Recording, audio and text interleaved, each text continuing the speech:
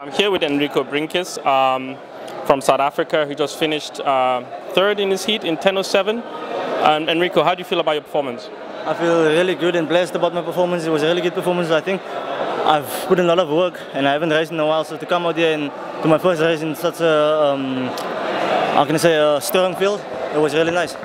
Fantastic. Now, you're part of a new breed of um, South African sprinters who are running sub 10 seconds. So tell me, when was the first time you ran sub 10 and how did you feel about that performance and achievement? It was about a month and a half ago. I think I've, i really just I just feel blessed because I was I started with a lot of injuries during season. So for to run sub 10 and to be in such good form now, I'm really blessed and I'm really happy. Fantastic. Now, correct me if I'm wrong, but I think 997 is the national record and you've equaled it. So how many of you actually jointly hold the national record?